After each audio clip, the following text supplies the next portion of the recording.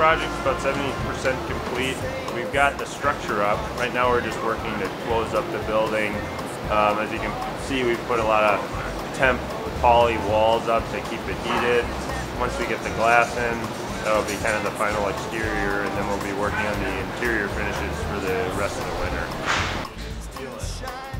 I would say the next I would say the next milestone is to get some of the HVAC equipment in and fired up. So we're instead of using you know temporary electric and temporary heating and cooling, we'll actually well probably not cooling, but we'll be using uh, permanent power to heat the building with the permanent equipment.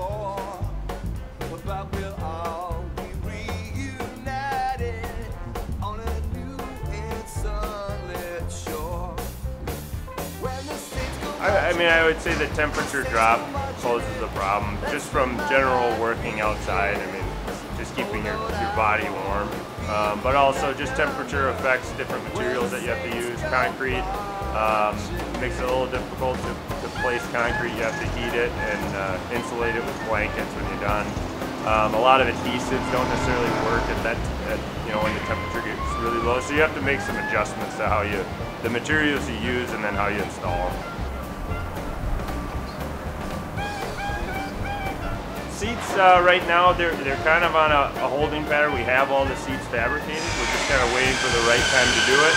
Now that it started snowing, that would really be the only thing that would, it wouldn't even hold up seats. We just have to move the snow. Um, so we're just kind of waiting till it's an appropriate time. We built out a platform to help build the underside of the club level. Uh, so that's kind of taking up about six rows. So at this point, we could put in about half the seats but it won't it won't bother us to wait just a bit longer. So right now we're standing in uh, the service level of building one. Upstairs you would come in uh, from the concourse level. The team store and ticketing would be on the concourse level.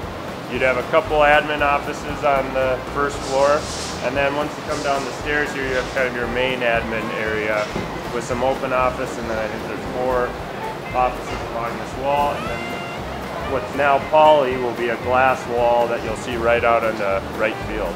It'll be a, it'll be a great view field. With a small terrace outside of that where they can take clients or, or sell to spectators. It'll be a pretty neat space.